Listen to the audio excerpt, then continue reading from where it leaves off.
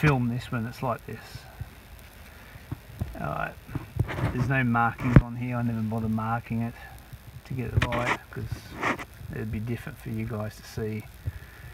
Alright, once once you apply this on, if you move it, it's very, very gentle. Every little point of a millimeter counts. Now take it took me about half an hour to get this the revs and uh, uh, right but I'm trying to make it easy for you guys to understand. Once you put this on if you move slide it up this way obviously it's not going to turn. It's not going to turn on. It won't do anything. If you push it all the way to the end here it'll rev the guts out of this car and then probably shut off. It'll pretend uh, if the computer gets the high revs and this signals to it it might turn off. Sometimes it doesn't so you got to quickly get around the car and turn it off in ignition.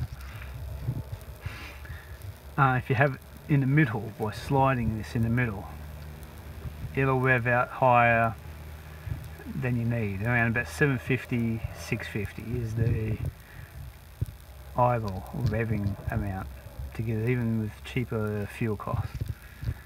Um, you'll as you're sliding it this way fully then bring it back down to oh you would understand when you turn the car, car over again. You slide all the way to here and then just move it about that far. If you can understand my fingers in just just a little bit down like that.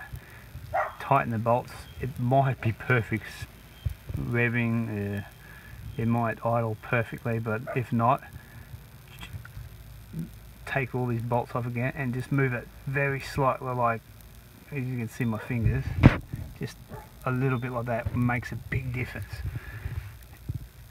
and then tighten them back up again it takes a little while you're gonna keep doing this and then sometimes when you're sliding it moving it you got to move it sometimes like push up down. It's like um, on a car that has a distributor, so you got to think of that.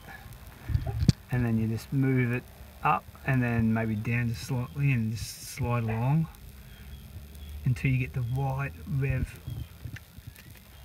on your um, car. Once you hit around 650, 700, you, you're spot on. Tighten these up, not too tight. If you have to do them too tight, um, I would use silicone around the rubbers that are in it if you got an old one, but this is brand new, I didn't have to worry about that. Um, what's another one you can do now? Some cars have got electronic bit here, there's a cord here, that these might have to be checked, they might need to be cleaned, and that can cause the high revs or non-idling issues. Um, this is a fly-by-wire vehicle so um, here's another uh, another issue here that can cause it. I'm just got to try and get if you can see it just before I turn the video off. Okay.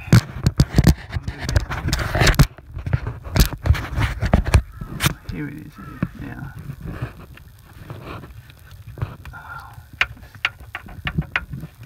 Get this right.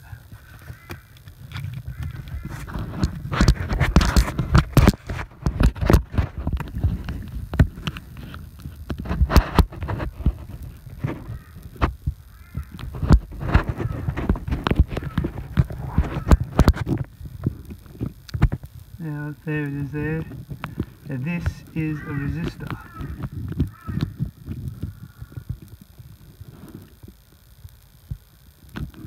That's there, I'm trying to show you. What that resistor does. You probably end up having a an engine light on your, your car um, that plays up and that can play out with the communication you will need to get that fixed so hopefully that's not it but if you just adjust it I mean you have to replace the resistor you've got to replace this thing here it is there that's the resistor I'm playing with you have to replace that not fix it excuse me yeah clean this governor first. If that works, great. If not, you'll have to replace it.